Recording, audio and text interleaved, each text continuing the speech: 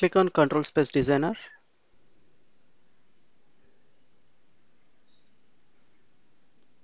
Click on Windows and click on Device List. Now you can see all the devices on the left.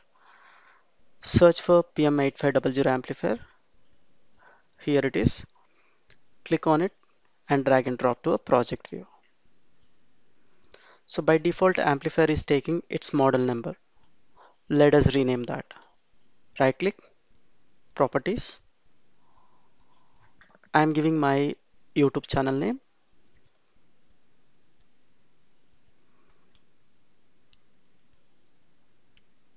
And close the window. Now you can see amplifier default name we change to AV Universe.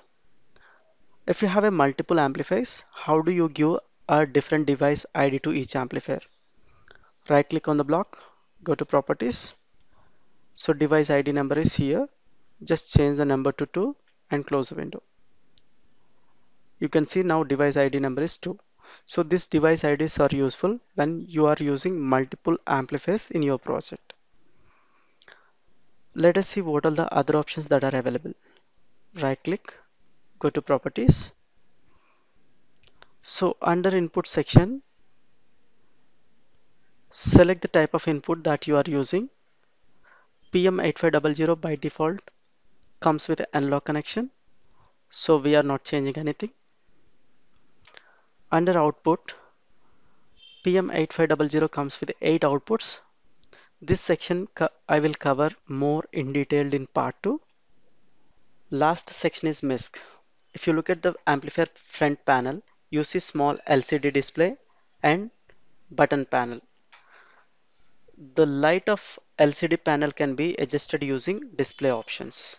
Either you can dim or you can leave as it is. You have an option to lock the button panel. To lock the button panel, enable panel lock option and set 5 digit passcode. So here alarms can be enabled by checking this box.